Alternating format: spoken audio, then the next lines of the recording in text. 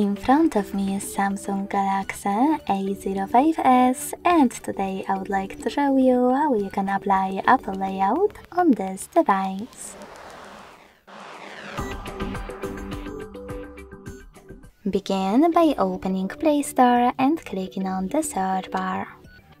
Then type in Launcher iOS 16 and get this free app from Launcher Studio Developer.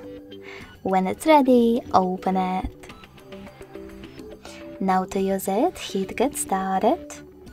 Tap on I agree to terms and conditions and then hit continue twice. Now select while using and allow in all available pop-ups. Close ad. Manage all of those options and click on Set as Default at the top. Lastly, click on iOS Launcher to apply it. As you can see after that, Apple Layout was applied successfully on my device. If you wish to switch between your layouts go into the same app, click on Set as Default and tap on Default or iOS Launcher.